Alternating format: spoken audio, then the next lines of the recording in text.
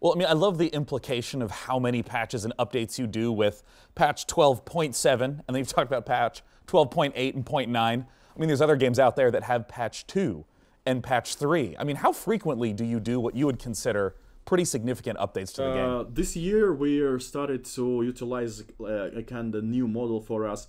We want to make uh, the patches every single month. So uh, that's why people, uh, yeah, that's why people will uh, like taste things more in terms of new content and fixes. And I think overall people uh, love the idea to have like frequent patches with lots of stuff to test.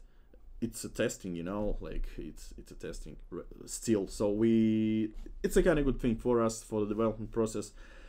It brings uh, also uh, this word uh, discipline you know discipline inside the company to like fulfill and be precise in terms of patch release process. So overall it's a it's a good thing for everybody i think to have more stable uh, smaller but frequent patches